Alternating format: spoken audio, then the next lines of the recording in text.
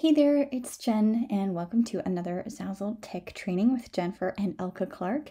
Um, I'm Jen, obviously, and today we're going to be talking about the new feature that is given to you when you're on one of your own products in terms of showing you the stats for the product. And this is really helpful because usually what you had to do is actually go into the back end of your store in the back end where you see your products, not in the store home front, which customer sees, but in the back end where you manage your categories and your products.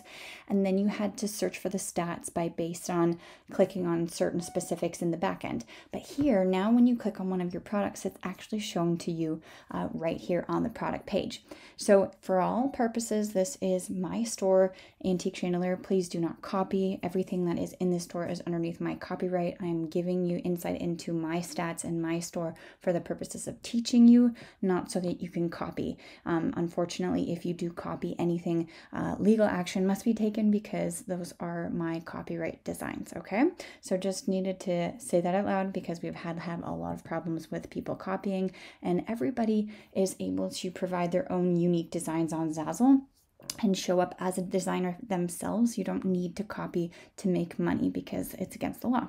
Okay, so right now, um, previously, this is, was not shown on your product page. And when you go onto somebody else's product or in some on somebody else's store, you're not going to see these stats obviously for their products because this is in the back end in your view um, because you're logged into your account. So your stats will obviously be different than mine in terms of the numbers, but the specific stats that are given to you are all the same. So you get to see when you created the product, when you last modified the product, when the last orders were in the last seven days, or the orders were in the last 30 days, the orders in all time, the quantity sold, last sold, last viewed, views, and likes. Okay, so this product was obviously made in 2014. So unfortunately, in the last 30 days, I have not sold it. However, the last time I sold it was in 2017. So four years later, um, the reason why I'm showing you this stats is because it's actually got a lot of really interesting stats. It's got high numbers, so I just randomly chose this product, okay? So I wanted to show you what it looked like in the back end. So it's really interesting because then you can see how many um, orders and quantity sold, and so you can get some really great analytics from there to see in terms of how many um, on average products are being bought in the groupings when someone makes a like purchase, okay?